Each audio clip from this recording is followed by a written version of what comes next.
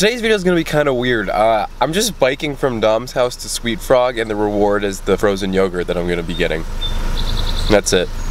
So here I go, biking to Sweet Frog. I'm on Dom's bike. It's uh, it's a bit sketchy. Good luck. Thank you. Bye, Dom. Listen to that healthy sounding brake. Only the front brake works on this car. Only the front brake works on this bike, so if I end up doing a front flip during this video, you'll know why. I'm trying to make a beat with the brake.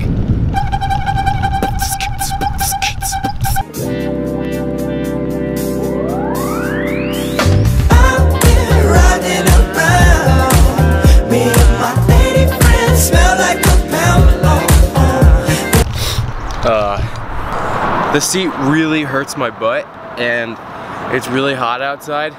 This is still fun. Alright, I'm really close now and I'm excited to get some Sweet Frog. I'm about uh, 15 minutes away.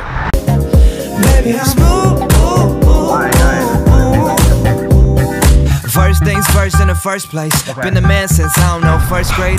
I'm almost there. I can smell the froyo.